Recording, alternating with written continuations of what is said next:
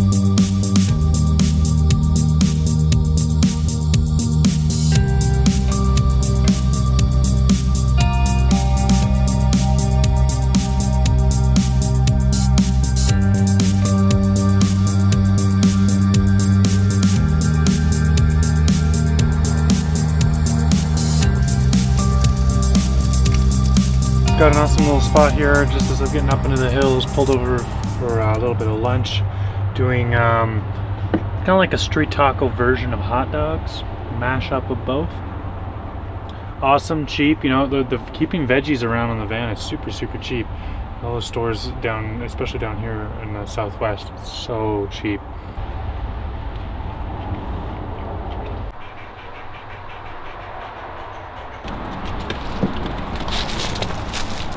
Since I have so much driving to do today, I figured uh, Champ and I would just do a little bit of exploring before we hit the road again. It's kind of a cool spot. It's nice to be back in the trees again.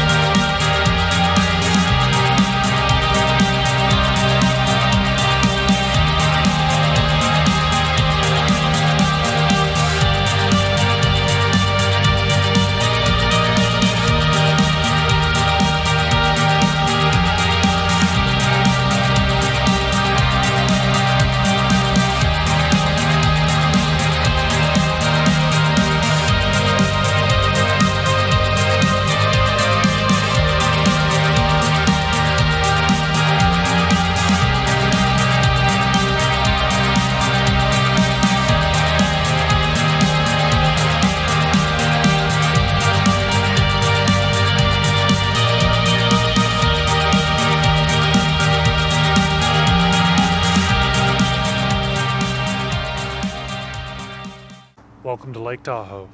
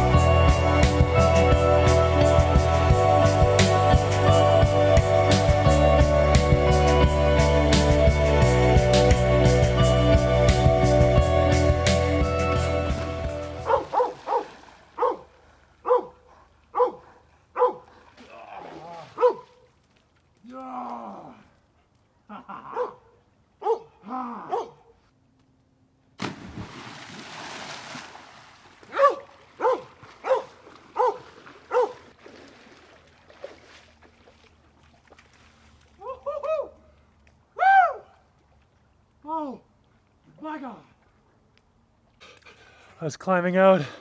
I just lost my phone. Oh my god. Oh. I fell into the water and it slipped between some big rocks. It's down like 20 feet.